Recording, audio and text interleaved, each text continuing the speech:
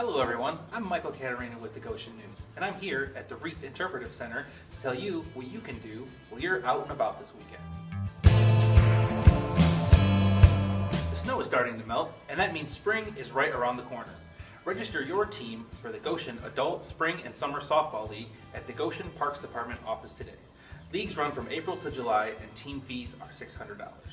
For more information, visit goshennews.com. Get registered for the Adult Co-ed Sand Volleyball League at the Goshen Parks Department on Friday and Monday from 7 a.m. until 4 p.m. Games start in May and team fees are $150. On Friday, the Nelons will perform at the Blue Gate Theater in Shipshewana at 7 p.m. Tickets are $24 for the performance and $41 for dinner and the concert. For more information and to purchase tickets, go to goshennews.com. The Das Dutchman Essenhaus will host a train show on Saturday starting at 9 a.m.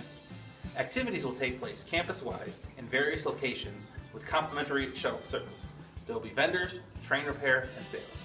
Tickets are $3 per person or $6 for the whole family. Three Bridges will perform Saturday at the Blue Gate Theater in Shipshewana at 7 p.m. Three Bridges music is rooted in traditional Southern gospel and black gospel music. Tickets are $24 for the performance and $41 for dinner and the. For more information and to purchase tickets, go to goshennews.com. The Elkhart Symphony will perform Sunday at 4 p.m.